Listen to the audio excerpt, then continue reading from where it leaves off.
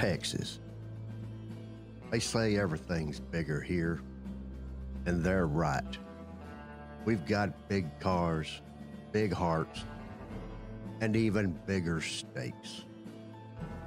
This is beef country, Texas, home to the Alamo, the Cowboys, and the largest military installation known to man.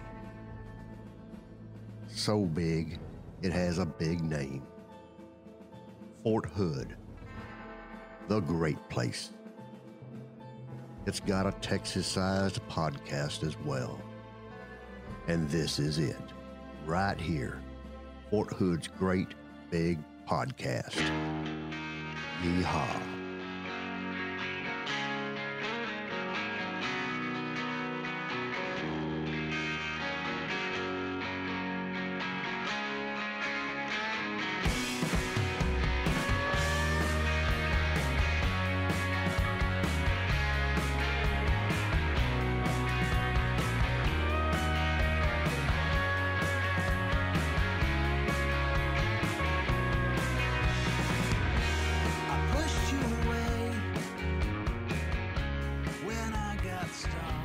So there's a coin shortage. I thought you And welcome back to another week of Fort Hood's Great Big Podcast.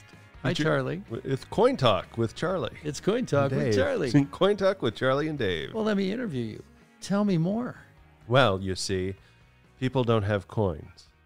Yeah, I never carry coins anymore. See, and that's part of the problem. Okay. See, So why would there be a shortage when I don't carry a coin? well, see, technically there's not a shortage, but there is.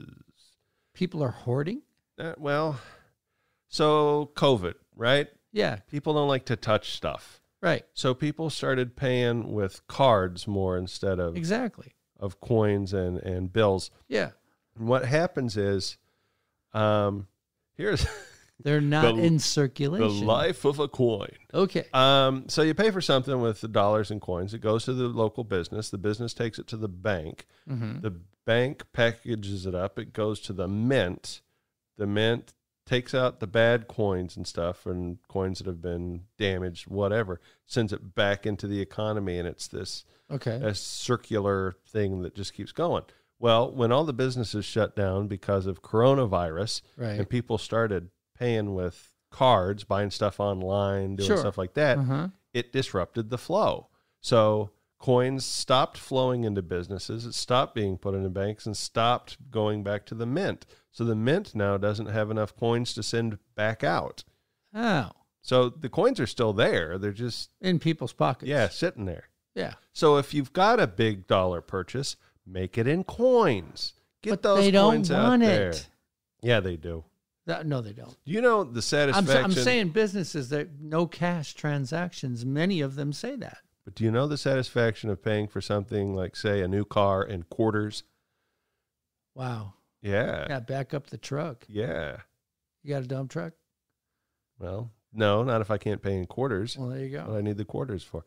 But it's that's that's the problem. It's it's created a national coin shortage. Wow. Not, but the fact is, people aren't using coins, so they don't know it. Everybody's like, "What national coin shortage? What?" Yeah.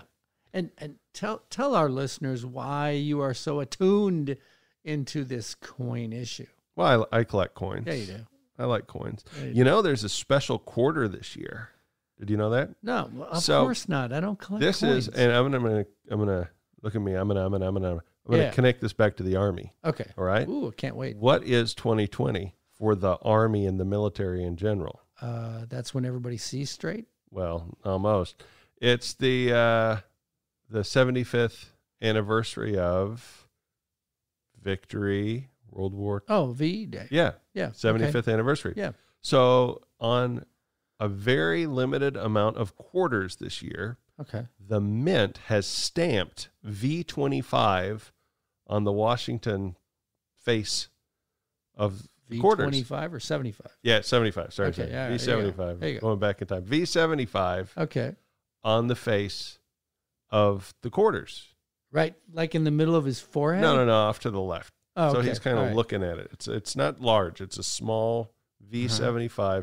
and the quarter will also have a W mint mark. So which you know, is West Point. yeah, right? West There's a mint at West at Point. West Point. So most quarters Again, you Army see, tie. yeah, right? most quarters you see are either a P for Philadelphia or a Mhm. D for Denver. If you buy a special set, it has an S on it for San Francisco. Wow. They don't make much there, though, do they? No, they don't. Just the just the special sets. Okay. But Well, these are West special. Point's a big time mint. Uh, they make the commemorative coins usually. Okay. But so these are the second ever W uh, quarters that are ever produ- produced.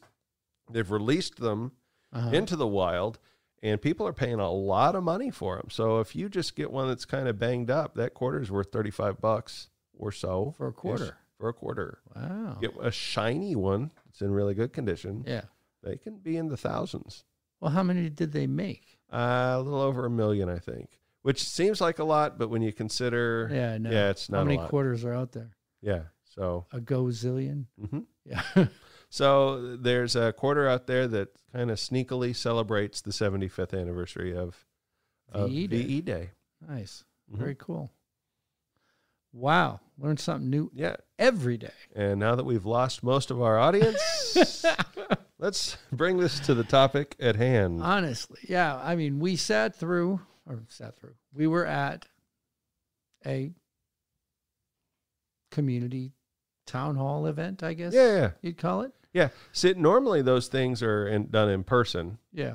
uh, but then we were doing them on Facebook Live. Right. But the comments we were having on Facebook Live is, I can't hear you. The sound is bad. Right. Speak up. So we fixed that. Right. Uh, but in order to fix that, we couldn't be live. right. So it's live to tape. And then we put it up. And we put it hours on there, and people can comment whatever they want. But the vid- the audio is good. You're going to be able to hear what everybody says. Mm-hmm.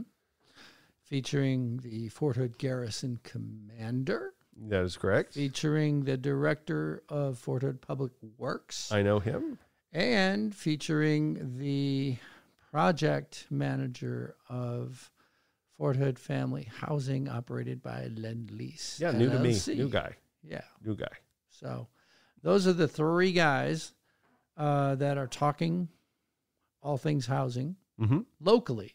Yes. But what's uh, also of interest, since we're going to get into housing, right, Mhm. is that the Army released the results of uh, two of the surveys they conducted at the end of 2019. And that release was just last week. Ah, in the days before COVID. Yeah. Ah. Yeah. Well, they released it on the 22nd, and then I, I actually saw it on social media on Saturday. So that was what, I don't know, 27th or something like that. But uh, they had uh, more than 87,000 residents were invited to participate. About a quarter of them responded. Here at Fort Hood, it was like 29%, almost 30%. So if you didn't uh, respond, that's on you. Yeah. That's but, on you. yeah. Uh, about 30% here at Fort Hood responded because I checked the numbers. Um, but the big thing with, with that was it does show progress. Um, across the Army, they're saying that the most notable increase was in the quality of maintenance. You Very put, In a, put in a work order and you're getting better results, I guess. That's what the survey says. And here at Fort Hood, the overall satisfaction rate Mm-hmm. was spring of 2019 it was their their rate was 72 point something percent and they went up 2% All right. so that's improvement Hey, that's more people satisfied than. not They're not. fast but hey Mhm. if you're going you're going to the right instead of the left right Yep. So keep it keep Radically right. keep pushing it Mhm. yet uh, yeah maybe not okay. Yeah, let's not. But uh, yeah, re- survey results are out. Uh, we are going to publish this article in the Fort Hood Sentinel, and uh, the Sentinel editor Todd Pruden is going to going to do a write up on the Fort Hood Housing Town Hall event, Wow. which we're going to hear all about Or yeah, right about now. Should be a hoot. right after this. Yep. Okay. Stay tuned. Yeah. Sadowski Field, the parade field outside Three Corps headquarters, is again the site of a memorial boot display on an Americans fallen since September 11, 2001. More than 7,000 boots featuring the names of the fallen on tags will be on display from sunrise to sunset from June 27 through July 5th.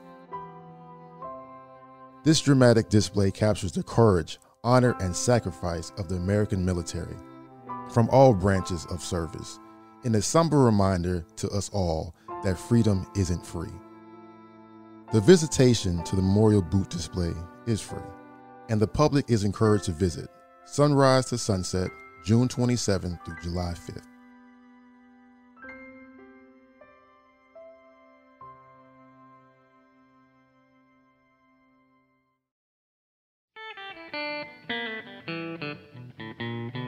It's what your tax dollars sound like. Fort Hood's Great Big Podcast. Good morning, everyone. My name is Colonel Jason Westbrook. I'm the garrison commander here at Fort Hood.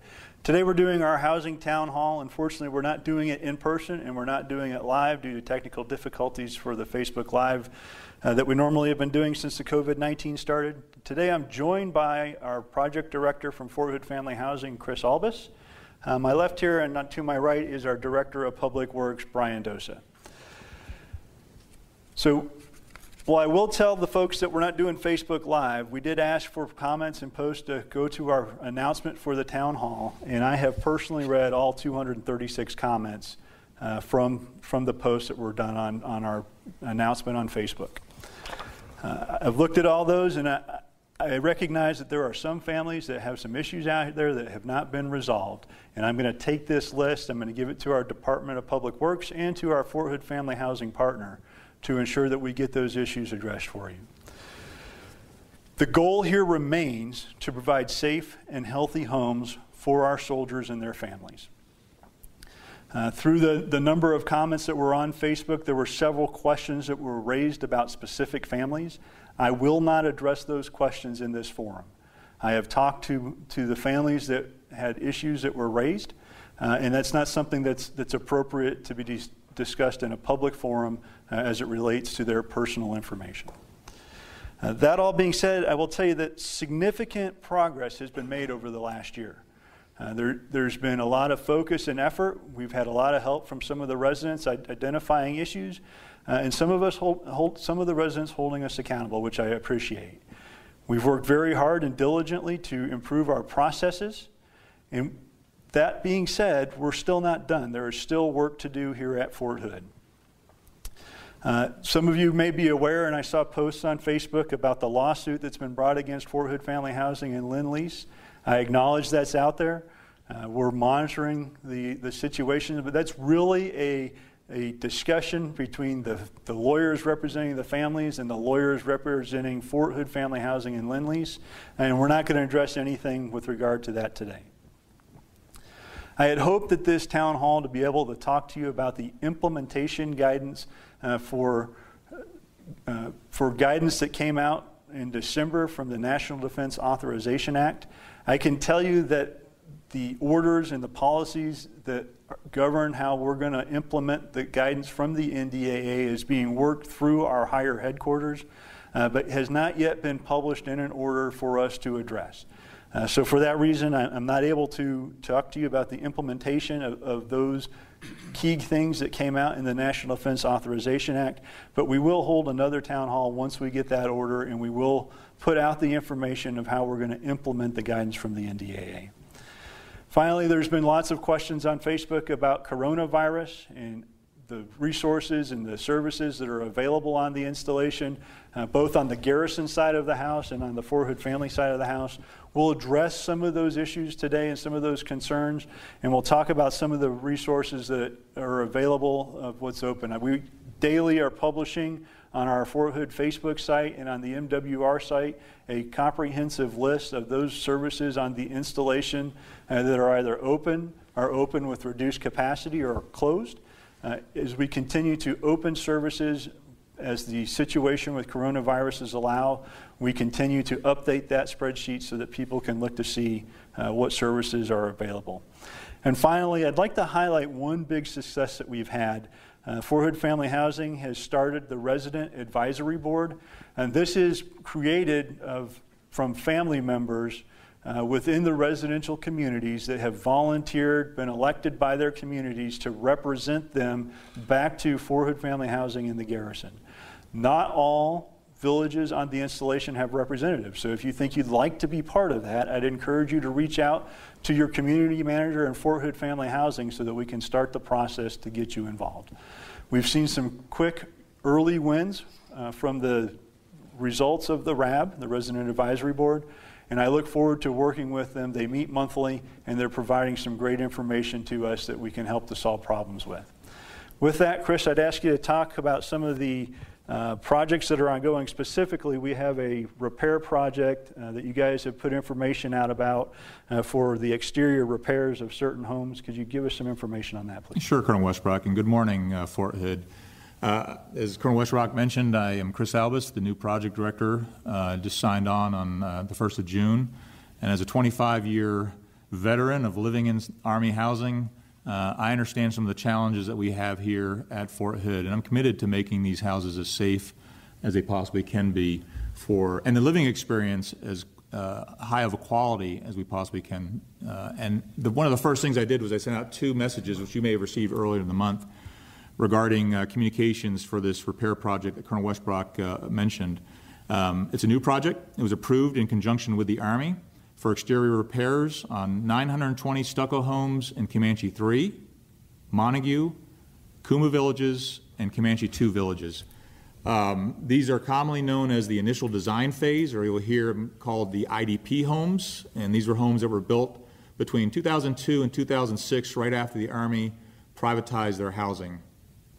The repair work will include stone, stucco, siding, and roofing work, and it's being per- performed by a qualified third party contractor with oversight by a Fort Hood Family Housing Project Management Team, the Army's DPW, and a third party architectural engineering and building science consulting firm.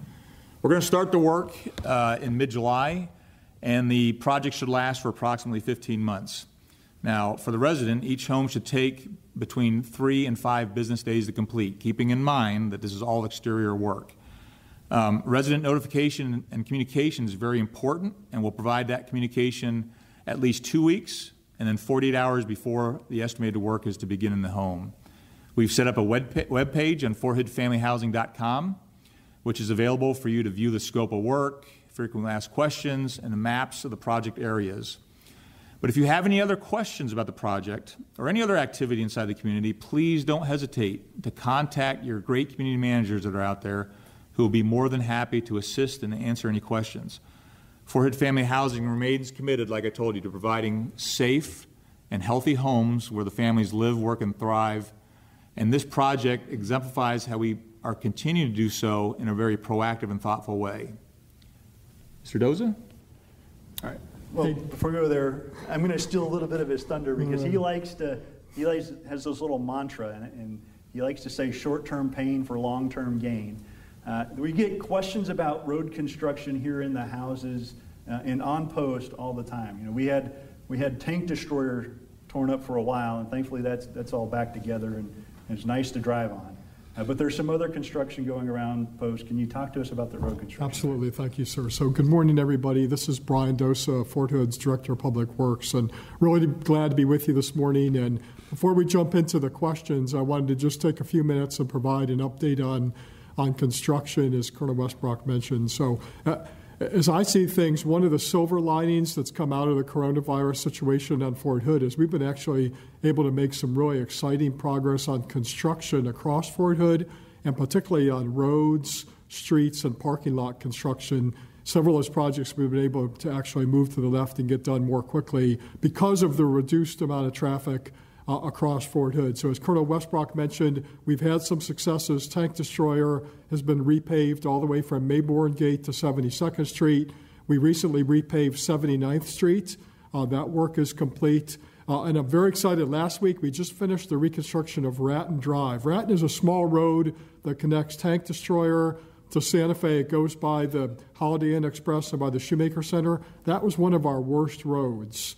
Uh, and we just finished that. It's completely paved and open to the public, and so we're excited about that. Some ongoing road construction continues. Uh, we're doing work on 72nd Street over by First Cav headquarters. We're working on Clear Creek, uh, and then a couple areas uh, that are going to impact our residents. And so, those of you that live or work out at West Fort Hood know we've been working on Clark Road uh, for quite some time. We finished the reconstruction north of I 14, and we're making some really, really good progress on the work south of, of I 14. Uh, and so, uh, those of you that live out there know that the phase that really affected Montague Village and the youth center and the CDC and the school is complete.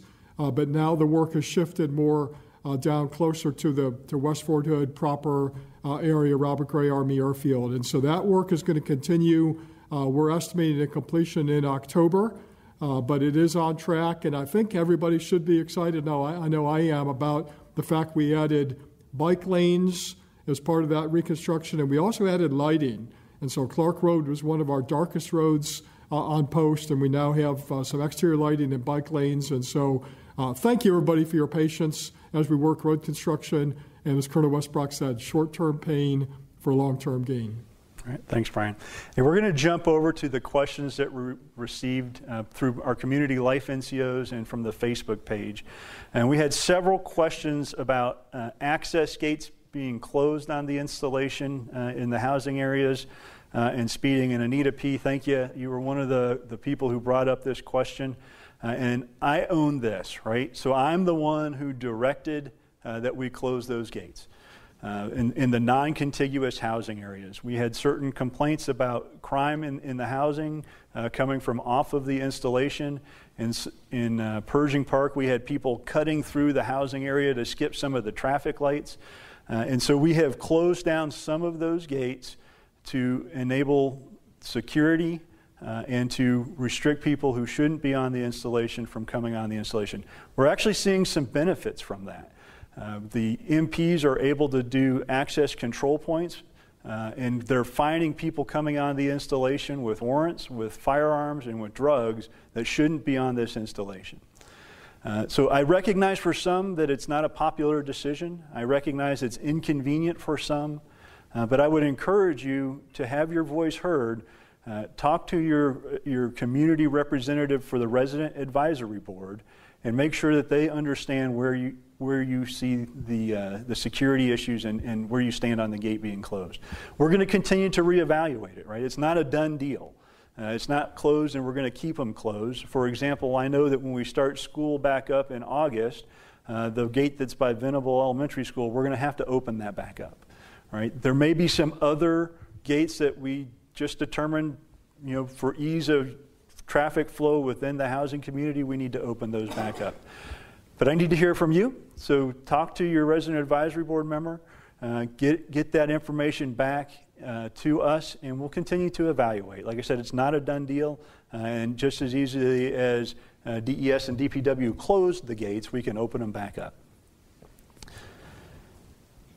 Okay, I think we're going back to the questions, and Chris, I think you're going to talk about the self-help stores. Yeah, sure. So um, actually, the next question I've got is regarding uh, lawn maintenance. Um, and this is another good question um, that was that was posed. Is there a way to get lawn care while my husband is deployed? Um, we uh, do have a deployed spouse mowing program, and as I mentioned before, uh, your community management team uh, and your community manager is that point of contact where you can go discuss how to get enrolled into the uh, into the into the program when your spouse uh, is deployed. Uh, that community manager is really uh, key in in that communication at the lowest level between the resident and between um, me and, and, uh, and, the, and the garrison as well. And then the other question is regarding uh, when will lawn and garden be open again? Okay, so as Colonel Westbrook mentioned before, uh, not only are, are, the Army, is the Army using very strict protocols during this pandemic in order to safely open and, and operate uh, on post every day, we're doing the same thing over at Fort Hood Family Housing. Uh, so when the post returns to health protection condition alpha, um, and we can assure that the safety of our valued residents and, and dedicated employees is, is, uh, is good to go, then we'll consider opening the uh, lawn and garden again. That's a great question because lawn and garden is near and dear to my heart. Um, it's great to see the, uh, the residents requesting um, lawn and garden items um, because it, it, lets me know that they're taking care of, of the homes, especially changing their air filters every 30 days. So it's a great question. Um, I think the next question Can I, is. can I tag on to the end of that? So you, you mentioned health predict, health protection condition alpha, and that's not something that we've routinely used as we talk to the, the audience at large, our soldiers, our family members, because it you know, we haven't really defined it. What I would point people back to is uh, the spreadsheet that we put on the Facebook page that talks about the services that are open. Uh, and if the Lawn and Garden Center, I think it's in there, but if it's not in there, we'll add that in there. Uh, so when that does come open, we will make sure that it's listed in there so residents will know. Yeah, I just wanted to kind of follow on to what Chris said about the lawn and garden. So I think most of you know that uh, if you live in Liberty Village, your arrangement is a little bit different. Uh, so we have 12 different villages on Fort Hood. 11 of those are part of Fort Hood Family Housing, and, and Chris is the project director there. And Liberty Village is, is owned and operated by Universal Services, so it's a little bit different arrangement. But I wanted to point out that Liberty Village also has a deployed spouse program.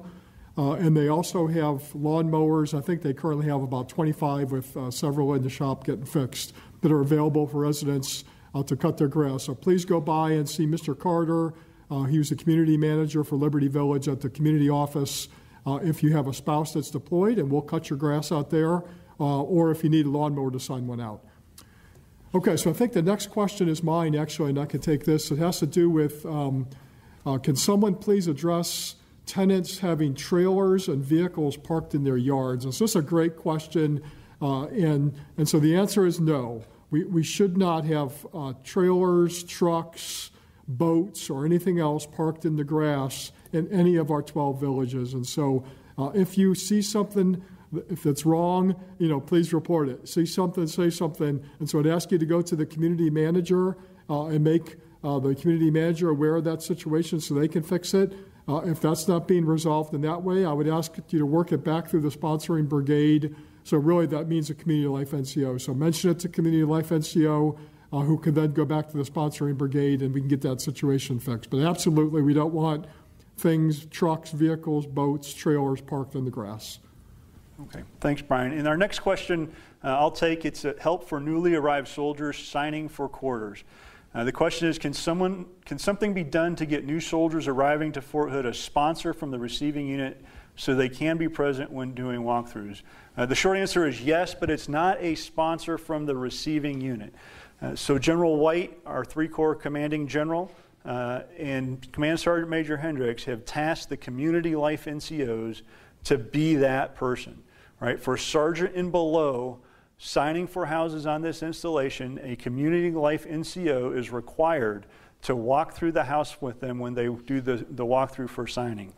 Uh, Chevy H on Facebook also asked, why don't we publicize that we have a sergeant major in the Copeland Center uh, that, that helps advocate for soldiers and housing? Uh, the short answer is we do publicize that, but we're in the uh, transition between uh, Sergeant Major Cole, who's retiring, uh, and Sergeant Major Hendricks hiring another Sergeant Major to go into that. In the interim, we have Master Sergeant Munoz, who is filling that role. Uh, so we do have that NCO there, and they oversee all of the community life NCOs who we view as, um, as our scouts for the, for the command group here. Uh, to identify issues in the housing area so that we can raise them to the appropriate level and get them resolved. Uh, in this particular instance, as it relates to soldiers signing for houses, uh, they are tasked, they are directed for soldiers signing, E5 and below, signing for homes to walk through those homes. Okay, thanks. So the next question goes back to what I was talking about before regarding lawn and garden. A resident is asking Does Fort Hood have a self help store? We call it the Lawn and Garden. It's uh, physically located over on Warehouse Avenue where my offices are. If you're ever there, come by and see me if you want to talk. Um, and right now, they're physically closed, the lawn and garden is. However, we are, we've been offering for the last three months delivery service on certain items. In fact, I think we've done close to 2,000 deliveries over the last um, uh, two and a half months of the epidemic. Um, those items can be delivered if you coordinate with, again, your community manager out there. Um, based on the demand and the request of the residents, we've also uh, reinstituted uh, lawn mowing equipment, which is issued by appointment at the physical location Monday through Thursday, 8 o'clock to 12 o'clock, and then return the next day by 12 o'clock. Um, likewise, those appointments as well need to be made through your community managers. And I'm not sure if uh, uh, Liberty Village does anything similar. Yeah, thanks, Chris. So we, uh, at Liberty Village, we have uh, lawnmowers that are available uh, for residents to come by and sign out.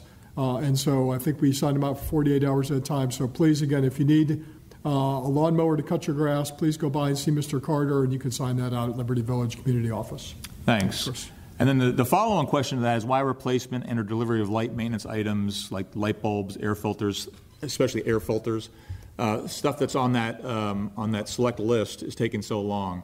Um, like I said before, we've we've done 2,000 um, work orders, close to 2,000 work orders. We've got two dedicated technicians. Um, then that's really all they do is deliver these things.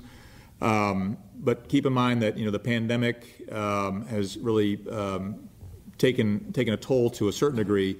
But our average response time has been 72 hours in order to deliver the items. Um, and again, remember to receive these these items, contact your community manager.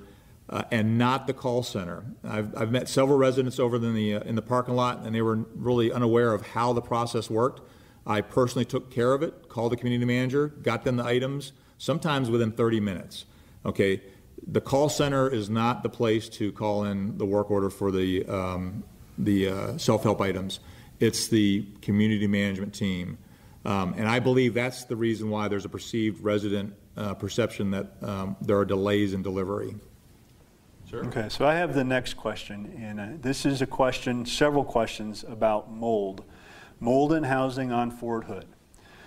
So I will tell you that a lot has been done over the last year uh, to understand and fix and remediate both the homes and household goods as it relates to mold.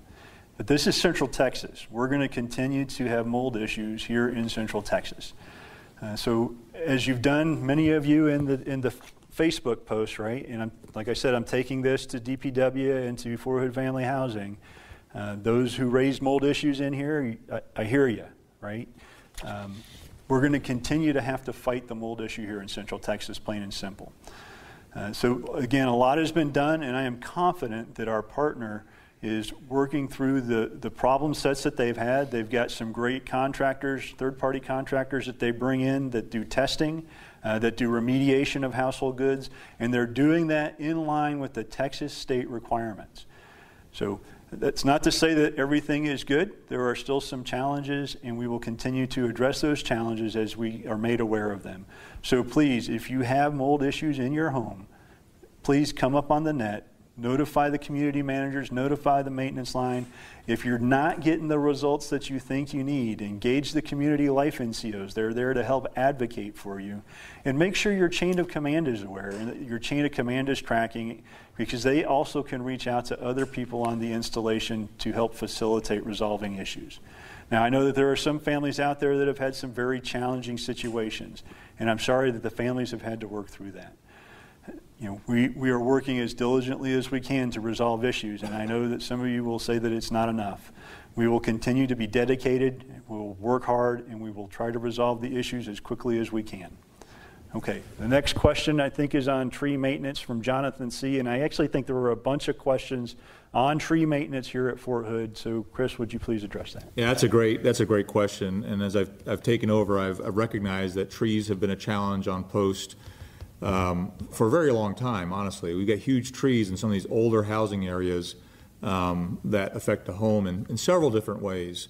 And um, we've been focused on this. Um, we've got a dedicated crew that comes out twice, twice a month to trim trees. Uh, and we did complete an audit, a thorough audit, about 18 months ago, and that was done by a certified arborist. Um, and that allowed us to prioritize and focus resources on the emergency tree cutting that we had to do inside the housing areas. Now, these emergencies have been addressed, and we are now working through those trees considered to be urgent requests. Uh, we'll conduct another follow on audit next year in FY21, and this is the first step in moving towards a more proactive tree trimming program. Additionally, uh, we are finishing up a project um, which required Dominion Power, your power company, to cut back trees due to the proximity to the power service lines and that was a that was a priority for us as well, and, and it's almost complete. Again, if there's a resident concern about trees, especially any emergency concern that you've got, please call in a work order or contact, again, your community manager to call it in. Sir, I think the next question is re- regards to bulk trash pickup. Yeah, Chris, I can, I can pick that one up. So, uh, really good question and has a fairly simple answer. So the question is, what's the process to request bulk trash pickup at your home? Uh, and so bulk pickup doesn't have to be scheduled. It's just on the same day as your normal trash pickup. Uh, so take those bulky items, place them at the curb along with your trash and your recycle.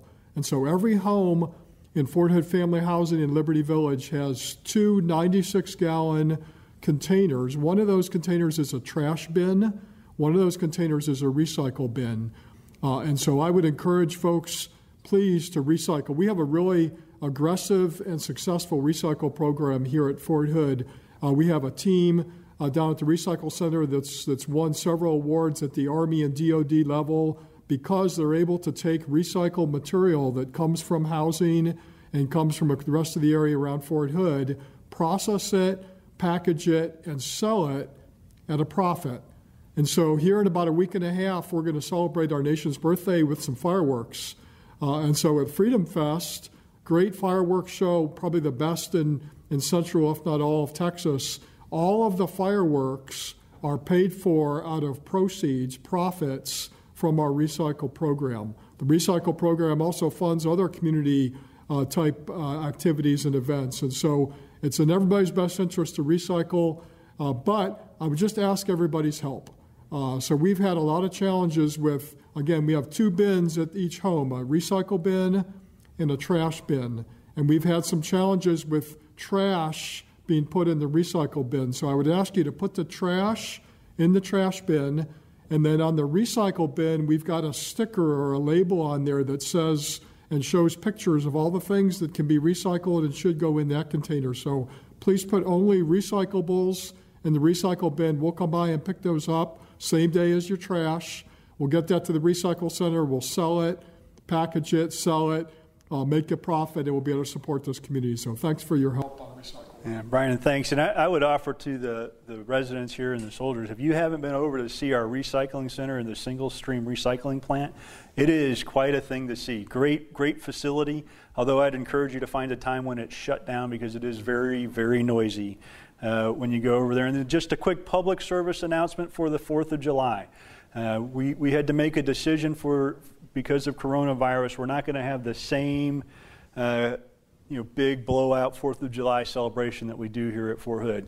That being said, we are still going to have the best fireworks in Central Texas, right? So I encourage people to come out. Uh, where it's going to be filmed by a couple of the local news stations, and we're going to be able to sync it on a radio station. I think to the 1812 Overture. Uh, so it's going to be a really good event, and you'll be able to to park around the area of the stadium to watch uh, the fireworks as they go off on the Fourth of July. Okay, Chris, I think we're talking next to you about your community offices and other amenities. Yeah, this this is another good question too, because this is really kind of near and dear to my heart as well. When the community offices will be reopened for full resident access. Right now, it's by appointment. Um, they'll uh, they'll meet you at the door with all the proper protocols and everything in place in order to address your needs. But it's really important to get those back open as soon as we possibly can, because again, community management teams, community managers who I've got confidence in are really where a lot of the problems are solved, a lot of the issues are, are raised, and a lot of stuff happens at that level. Um, so I'm looking forward to being able to open them. But right now, we're continuing to monitor this pandemic closely, as we've been talking about in the, you know, already, and we're synchronized with the Army to open in a complementary fashion. So as soon as the Army begins to relax some of the restrictions, we'll consider opening up the community centers for full access.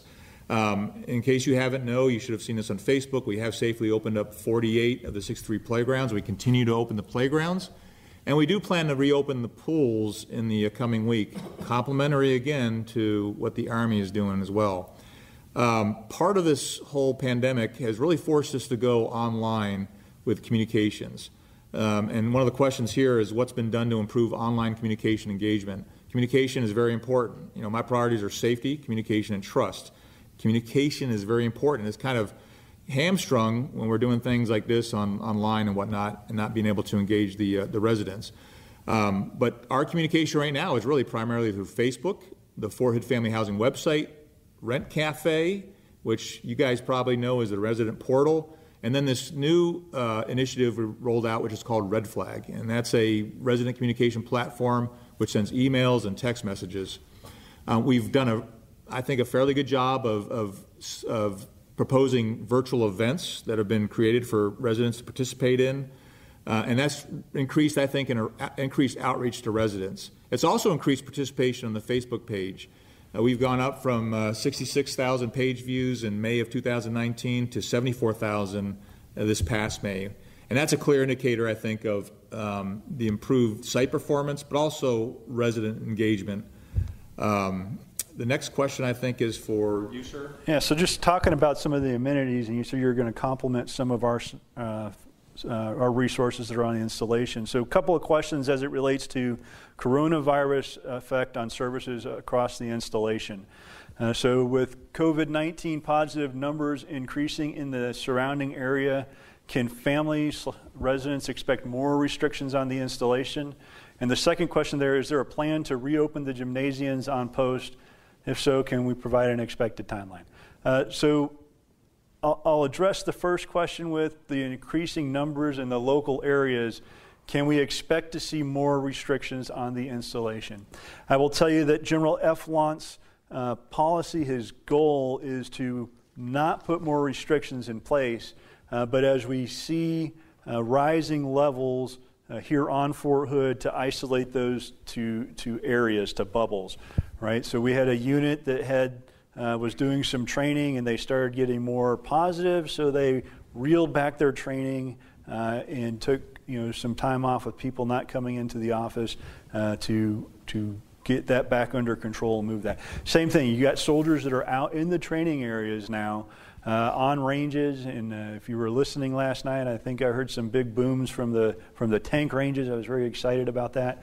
Um, but if if a unit is on a range and the unit next to them is on a different range and has coronavirus positive cases start to come up, well, we don't need to stop all of the training. We need to make sure we've isolated the two units and focus on that one uh, that is having positives, and that other unit continues to train. The, the unit that's having positives takes care of their positive members. Uh, as we talk about the services across the installation, uh, so right now we have three gyms that are open Harvey Gym, Starker Gym, and the West Fort Hood Gym. So is there a plan to open the rest? The answer is yes, there is a plan. Uh, but it, it comes uh, with an associated cost of ensuring that we have the staff members there to staff the gym and the resources to sanitize uh, in between people using the equipment and, and during the usage periods. Um, right now, those three gyms are open during typically high peak times, uh, and we're not seeing a lot of soldiers using the gym. So I don't know if that's a function of we don't have the right gyms open. Uh, or soldiers just aren't comfortable going back to gyms yet because of the coronavirus. Uh, I've asked the director of FMWR to look at that and maybe adjust one, the schedule, and two, the gyms that are open. Now, as it relates to retirees and dependents getting into the gyms, um, we're, we're, continuing to monitor uh, the spread of the coronavirus, uh, and, and, we're not there yet, but we will eventually open the gym back up, gyms back up to dependents and to uh, retirees. Uh, on the installation, we have two of our pools open, uh, Club Hood and the Comanche Pool. Uh, they're open, I think, Thursday, Friday, Saturday, Sunday, um, and the hours are posted online through the FMWR website. And there are a number of other services uh, that are fully up and operational. For instance, all of our child youth service uh, s- centers are up and operational and running. Um, and we continue to, to monitor uh, and to make sure that we're doing all of the mitigation measures that are necessary to stem the spread of coronavirus. I will tell you here, we're, we're fairly fortunate, right? We have a very healthy population, and we generally have a population that are rule followers and, and do what they're supposed to do. There's always exceptions to the policy. Uh, we here at Fort Hood have seen an increase of coronavirus cases over the last several weeks, uh, just like the surrounding community has just not at the rate the surrounding community has. And if you listened uh, to our hospital commander, Colonel Rich Malish, yesterday at our uh, Community Services Council, Um, while we've seen an uptick in the positive numbers, we're testing more, so we anticipated to see more positive. What we're not seeing is an increase in severe issues in our, in our hospitals in the intensive care units. Right? We, we've had a, a handful; they've all recovered, um, and so while we do have a few cases in the hospital now, it's not a, a spike of cases that require people to go to the hospital and overwhelm our hospital system. And as he said yesterday in the Community Service Council, the local hospitals are seeing pretty much the same, uh, the same conditions that we're seeing here on Fort Hood. Okay? So next question is for me, this is actually a really good question too. It's about uh, what we can do about the constant pest control issues. Uh, like the trees, this has been something that's been uh, on my uh, dashboard for, for a while now, as I think we've seen an uptick in um, some pest control issues around this particular time of the year here. Uh, the first thing I want to tell you is make sure you contact Fort Hood Family, Ma- Family Housing Maintenance to schedule the work to be done. Just keep in mind that there are certain con- uh, conditions and issues that are outside of our control, so there may be follow-on work orders that need to be uh, executed in order to ultimately address the problem uh, and, and the, uh, and the conditions. Um, we have in Fort Hood Family Housing um, decided to hire an additional pest control technician, so hopefully we'll get that person on board here in the, uh, in the very near future to help with that volume of work. Hey, Chris, before we go on to the next question, I think related to pest control is uh, stray animals uh, and barking dogs uh, in our neighborhoods. And we got a couple questions in on that that I wanted to address. And so if you have a barking dog in your neighborhood, we would ask you to, during the normal business hours, to contact a community manager and address it with your community manager. If it's after hours and it's really bothering you, please call the MP desk uh, and report it to the MP desk. Similarly, if you have stray dogs or other animals that are in your in the housing areas or across Fort Hood, we have a dog catcher, a stray animal contract uh, that's run out of the DPW. Uh, you can call the, the normal DPW number 287 2113. That's 287 2113. That's what the number you would call for any facility or issue that has to do with DPW across Fort Hood, but that would be the number to call and report a stray animal. And again, we have a dog catcher that'll get out and, and get after and pick up that stray animal.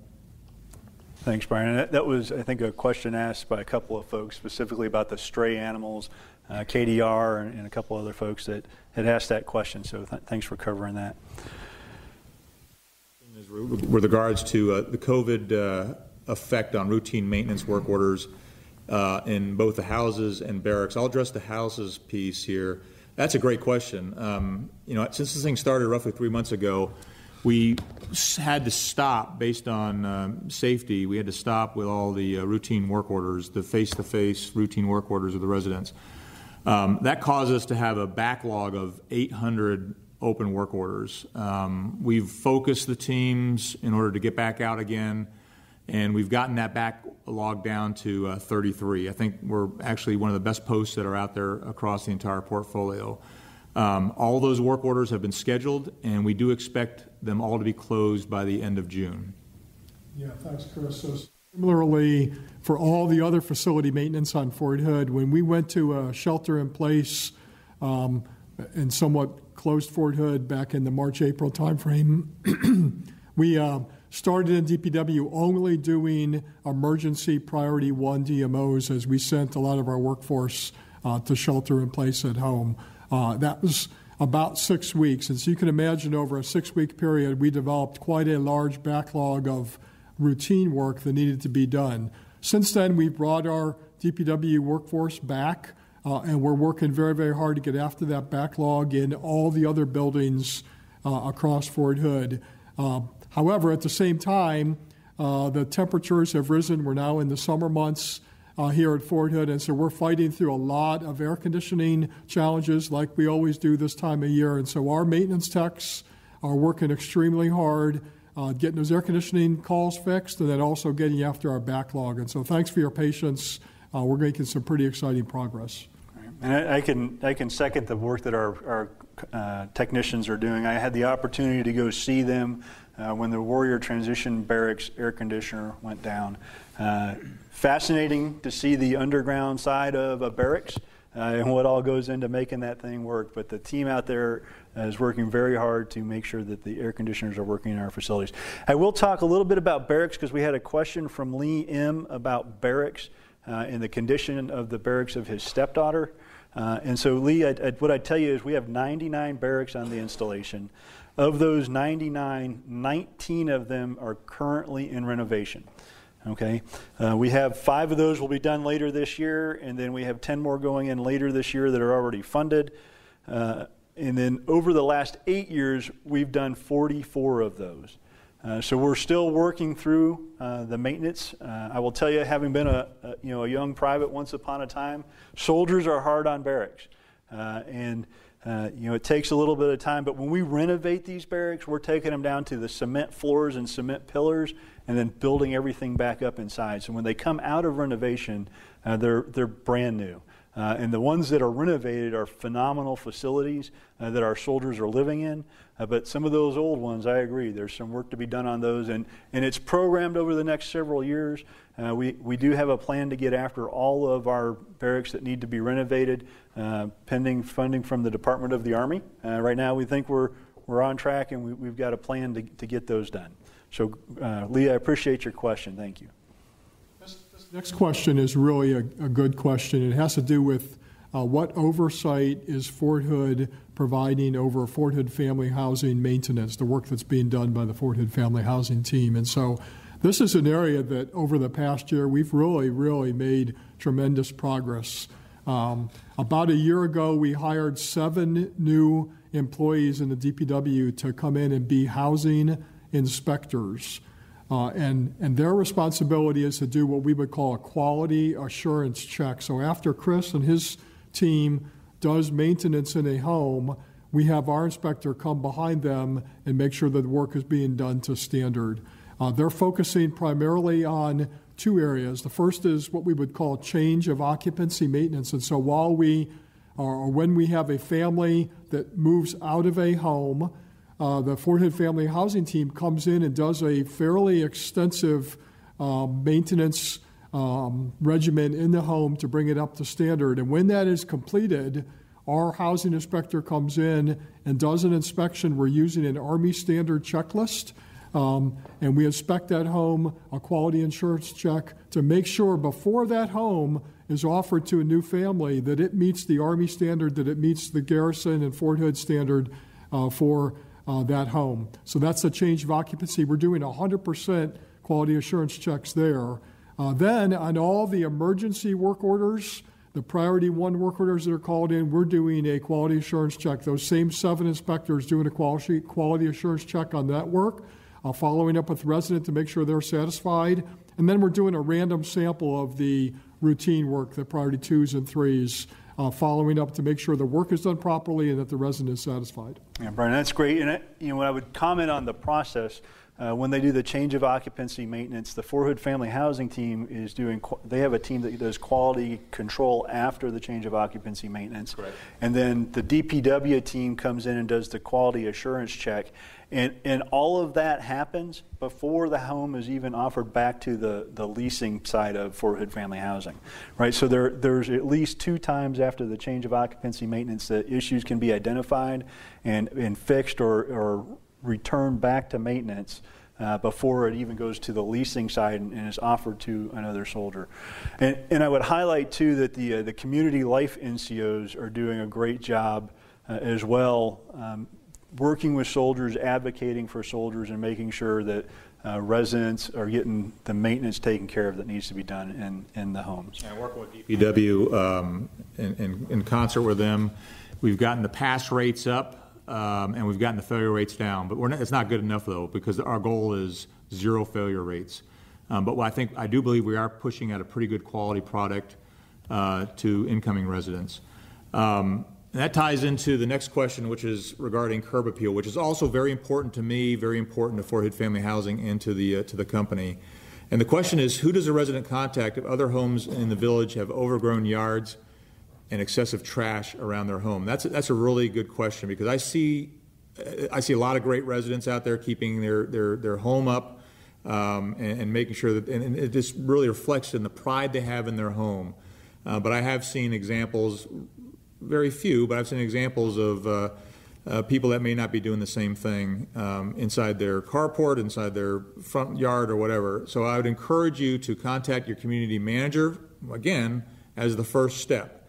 And if that's not resolved, then, if that doesn't resolve it, then contact the Community Life NCO and alert them. Um, I will tell you, there are Army units, brigades that have responsibility over those, those communities as well. I don't really speak to that, but they're very engaged too as to how soldiers, residents are living on, uh, on post. Um, and then the question about curb appeal, I will tell you that um, curb appeal is very important to Fort Hood Family Housing. And, um, you know, we've got roofing project going on right now. We've got painting. I mentioned the uh, IDP project. We're getting ready to start mid-July. We're upgrading HVAC systems. But we, we invest approximately 100 or $1.5 million a year into improving curb appeal. Uh, I'd encourage you, uh, if you have any uh, concerns or if you get any ideas on how to improve that curb appeal, be it in the neighborhoods, on the, on the playgrounds, uh, in the parks, wherever, you know, contact the community managers, let them know what your ideas are, or even better, contact the resident advisory board, the RAB member, who provides direct feedback to uh, the three of us up here at this table and other stakeholders throughout Fort Hood. Uh, and I think Liberty Village is under a little different arrangement, um, owned by a different company, but Liberty Village committed to curb appeal.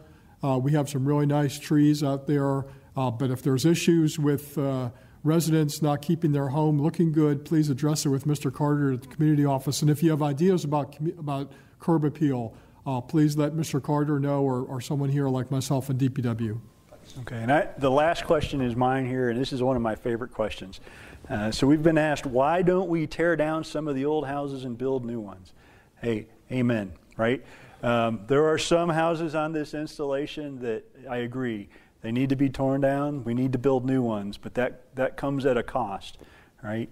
Uh, if you look at the funds that are available to do that, one, it costs money to tear houses down, and two, it costs money to build new houses.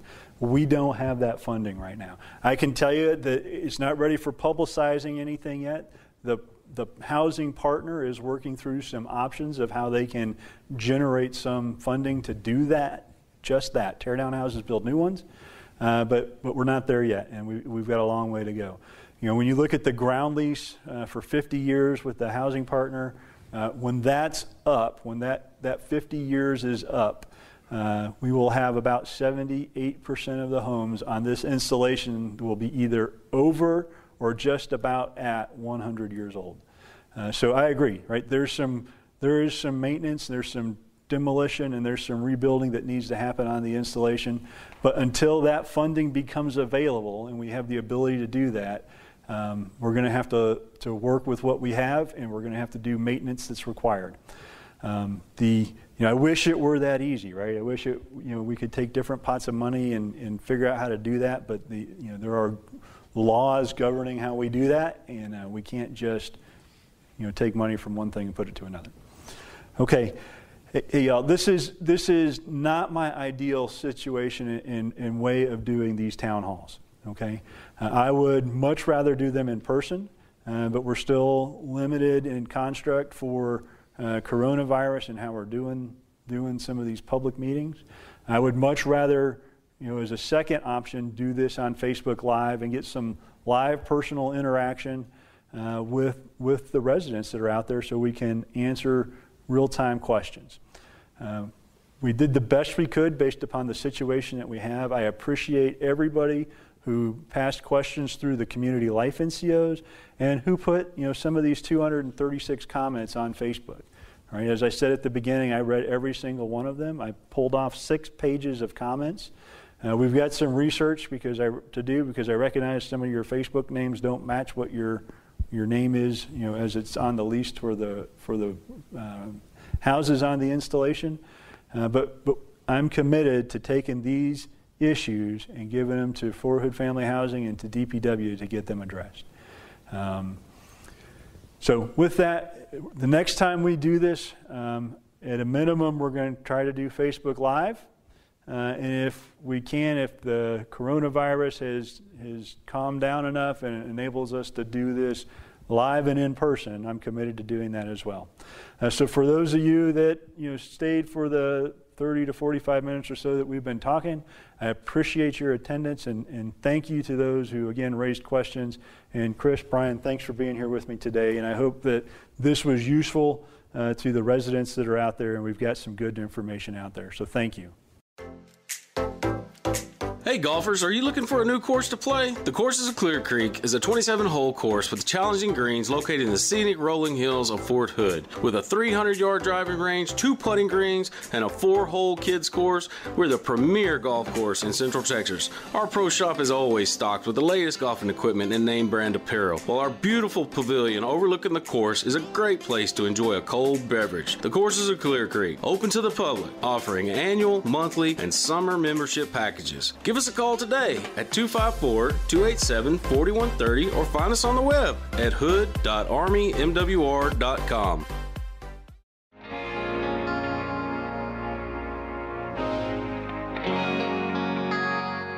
Uh oh, I bumped my head. Coming on strong on a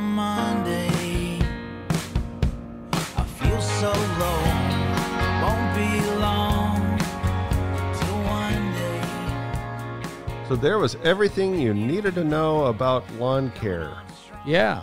Need to uh, need to. I bet people didn't know that when you join the army, you can borrow a free lawnmower. It's one of those hidden benefits. Yeah. Absolutely, list for the benefits. right. The lawnmower. hey, at least you got a yard. Exactly. That's nice. Exactly. But uh, so now that we've talked about the the town hall and we've all gotten to experience that, those that didn't fast forward to this point, we now have another big momentous day fast approaching. Fast, fast approaching. Tell me more. Well, I will. National Coin Day. No, I'm just No. joking. It's Uh, not. come on, It please. is the 4th of July. Dun, dun, dun, dun, dun, dun, dun, dun, dun, dun, dun, dun. You don't know the uh, 1812 overture, do you?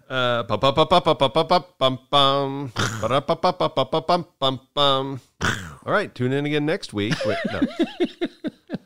you know, Brianna, who's not here right now, yeah, uh, has to play the flute part for the. Really? You know I'm talking about? Yeah. For the yeah. Da, da, da, da, da, da, da, da. Flute solo. Da, ba, ba, ba, ba, ba. She's All got right. Charlie, tell me about it. Let's stop singing All right, and sorry. goofing well, off. you know, goofing off. This is Well, sort of. serious business. You know, every year Fort Hood has the best fireworks display in Central Texas. Some say the whole state, and it's a pretty big state, so that's that's a Yeah. that's a thing. Yeah. COVID, Paid, paid though- for by Fort Hood Recycle. That's right. All your recycling goes to blowing up stuff. The uh, well, Yeah, I can see that. It does. It does. We are the Army. Well, COVID has made things a little more challenging this year. Yes, it has. because normally, I mean, it's a big get together in the stadium. There's food trucks, there's partying, there's usually Bouncy a, houses, a- face painting. a big time musical act, Yep. Somebody playing music. and then a fireworks spectacular at the end, all kept off by two hours in traffic. So right. this year they can't do that because of social distancing, Right. right? And and the COVID, but they came up with a solution. It's drive-in fireworks. Okay. So they're still going to blow them off. oh, things are still going to explode. You just get to see them from your car Yeah. or on TV. right. You got two choices. But it's much more fun to see stuff explode in person than you can watch something explode on TV any day of the week. You don't get to see it from your car. True. And it will be a, a 4th of July to remember. Hey, remember the 4th we spent in the car? Just don't bring sparklers from in there. That's that's a bad idea. Let let the exploding happen Not outside a good the car. idea. If you smell gas, yeah. Yeah. So uh, what they're going to do is they've since you can't go to the stadium here, Right. they've opened up a bunch of different parking lots. Okay. So you're going to be able to to drive your car onto post starting at 7 p.m. Okay. on the 4th. Uh, if you don't, if you're not a military member, you're going to need to have a pass. right. So that's done at the uh, Visitor the visitor center. Yep. So make sure you have that, or you're going to get turned around, and everybody's going to get backed up in traffic, and you will not be a hero for the day. the uh, The festivities start at 9:30 p.m. Okay. So you want to be in place before that. Before that, well, that's why it opens at seven. Okay. Because I mean, you want the, you want the good parking spot, but then my brain said, "Hold on, Charlie. Where is the good parking spot? Well, what if, what if you get the bad parking spot, so you're further away, but that means you can leave faster? Yeah, Huh? that's yeah. Huh? Yeah. Huh? Yeah. Anyway, it's wherever you decide to park. Mm-hmm. It's at nine thirty. Um, you're going to have to bring your own food if you're going to have food. There's not going to be any concessions And or drinks. It's still going to be in the drinks. So nineties. bring this your own. Texas. You know, this is like going to the drive-in. Yeah. The cheap way. You know, you'd try to hide the popcorn in the back seat and all that stuff. So and three friends in the trunk. yeah, yeah, it's just like that. Just don't hide anybody in the trunk; they'll figure it out. Yeah, that's Don't not a good that. idea. Um, but yeah, bring your own food. Bring uh, popcorn. Here's the deal: they don't want you getting out of the car. Nobody's going to stop you from getting out of the car. Right. But it's smarter not to do it. You know the COVID situation out there. You know the numbers are going up. Don't don't risk it. Bring something that you can eat, snack on in there. Um, you're going to be able to tune in your radio Yeah, to the fireworks are to music, right? yeah, yeah. So you're going to tune in The your actual radio 1812 overture. to K Rock 101.7. Wait, I'm going to say K Rock 101.7. Hey, way So- to go. Yeah, thank you. So you're going to have to uh, you tune in your radio to that, and then the fireworks are synced up to the music. So uh, if you're not going to come, if you're going to be a couch potato, Like me. yeah, you can tune into KXXV channel 25 or KWTX channel 10, uh, who will be streaming them online Okay. and on the, the TV on your big screen. Who wants to watch fireworks on a phone?